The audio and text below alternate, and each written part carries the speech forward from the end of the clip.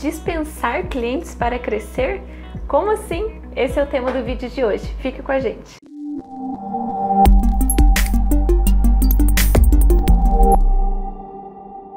Olá, aqui é a Kerlin da Soluzione Contábil e hoje eu estou aqui com o meu sócio Altair Alves. Tudo bom, Altair? Tudo bem, Kerlin? Olá, pessoal. Tudo bom?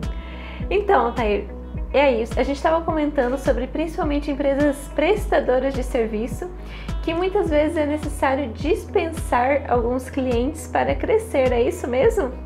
Então, Kelly, a gente estava conversando sobre esse ponto e é um ponto extremamente relevante para a gente discutir, né, para ajudar empresários, que o nosso objetivo aqui é levar um pouco da nossa experiência, do nosso conhecimento e tentar é, encurtar né, a curva de aprendizado das pessoas que nos assistem. A gente sabe que na prestação de serviço, o nosso maior objetivo, principalmente quem tem venda é, recorrente, é que você deixe o cliente o mais tempo possível dentro da tua empresa, pagando os honorários e contratando o seu serviço. Só que chega um momento que você tem que fazer algumas avaliações, tá? Uma delas, é, dentro dessas avaliações, uma acho que a principal avaliação é qual é a relação que você tem emocional também com esse cliente, da tua equipe com essa pessoa, com essa pessoa, com esse cliente que está te contratando. Por quê? Porque se o cliente não valoriza o teu trabalho, se o cliente está sempre reclamando, está sempre dizendo, falando mal da tua empresa, se relacionando com, a, com uma, uma, relação doentia né, com seus funcionários, seus colaboradores, como que ele está afetando a tua empresa? Porque assim, a gente vê muito que às vezes o, o, colaborador, ele reclama, ele fala, olha, eu detesto atender esse cliente. Como é que você detesta atender um cliente? Que tipo de atendimento você vai dar para essa pessoa? Sim, exatamente.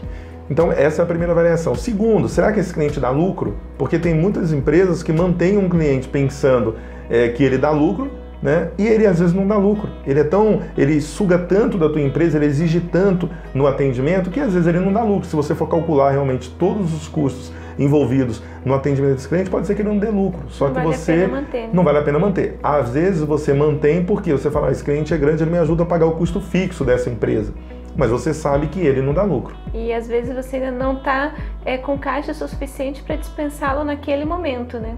Sim, pode acontecer de você, como eu te falei, né? Você é obrigado a ter uma estrutura para manter um atendimento da tua empresa que às vezes ela está por algum momento desequilibrado, ou seja, você precisa manter mais funcionários para atender é, toda a gama de serviços que você tem, porém alguém ali está ocioso, mas você é obrigado a manter aquela pessoa para entregar, mesmo quando uma padaria. Se você chegar numa padaria e não tiver pão, pode parecer que não é nenhuma padaria, né? Então você precisa manter aquilo ali. Então se você, mesmo que você venda pouco pão e venda os outros produtos bastante, você é obrigado a manter o pão e é obrigado, teoricamente, manter o padeiro. Então acho que a, a visão que a gente tem de empresa, principalmente na prestação de serviço é avaliar se aquele cliente valoriza o teu trabalho. Se ele valoriza, se ele, ele, ele é um promotor ou ele é um detrator.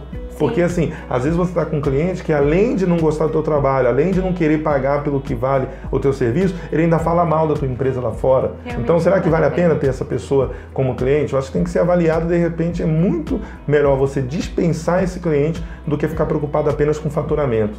Verdade. Nossa, obrigada, Altair. Excelente dica. Se inscreva então no nosso canal e até o próximo vídeo. Até, pessoal.